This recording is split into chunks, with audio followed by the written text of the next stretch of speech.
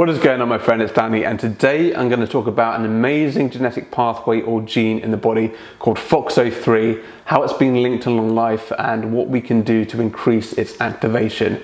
So quick disclaimer, don't take the content of this video as medical advice, it's for information purposes only.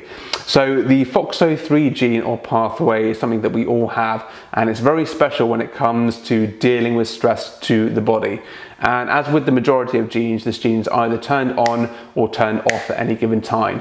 And when, we, when the gene is turned on, it's said to be expressed. And when the gene is turned off, it's still there, but it's just not doing anything basically. Now, it turns out that some people, some humans, actually have a variation in their FOXO3 gene, which results in the increased activation or expression of this gene. And these people that have this variation or polymorphism are said to have a 2.7 fold increased likelihood of living to be 100 years old. And if you can live to be 100 years old, you're said to become what's called a centenarian, which is very interesting. Also, another little interesting study showed that if you took worms and you genetically engineered them so their FOXO3 gene was always on, they actually increased their lifespan from 50 to 100%. So in some cases they were able to double their lifespan, which is quite interesting. So obviously humans aren't worms, but it's still an interesting study. So what is actually going on here? What is FOXO3 actually doing? Well, it turns out that FOXO3 is a master regulator of a whole raft of other genes which are really important when it comes to healing the body and protecting the body as well. So here are five things that the FOXO3 pathway is believed to do by orchestrating all these other genes. So number one, it actually increases the activation of genes that are involved in DNA damage repair. And minimizing our DNA damage is really important if we want to live a long life, so that's a great benefit. Second thing it does, it activates antioxidant genes that can help us to prevent this DNA damage in the first place. So that's really good as well.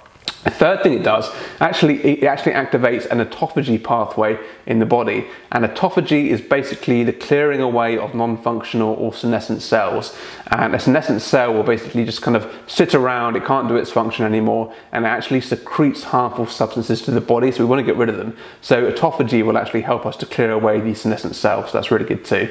Um, the fourth thing it does actually activates genes associated to the immune system or involved in the immune system. And the immune system system can obviously help us to fight off infections and viruses, but they also help us to clear away pre-cancer cells. So that's another great benefit. Now, the fifth thing it does, it actually regulate, regulates genes that are involved in stem cell function and it increases their division and growth. And that's really important because as we age, we actually lose stem cell function and stem cells are really important to help us to replenish um, cell populations in different tissues in the body. And if we don't replenish them, they can actually lead to our organs becoming dysfunctional.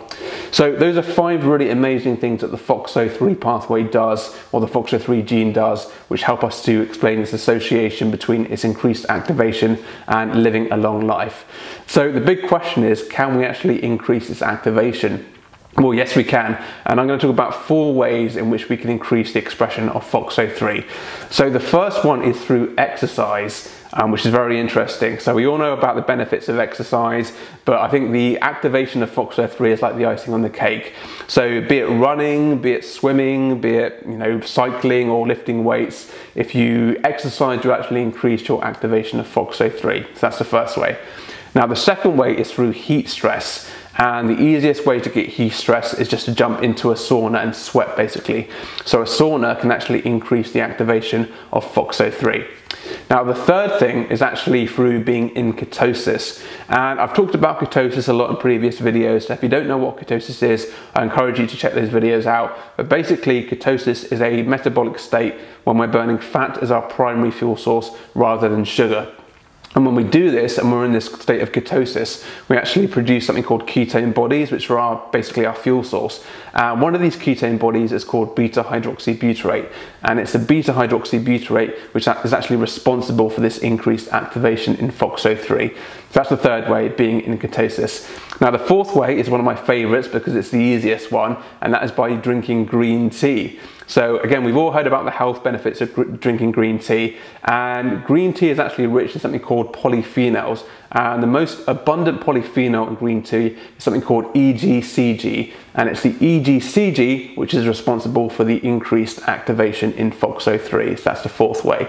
So that is basically the video. So I will do a quick recap and then I'll wrap up the video.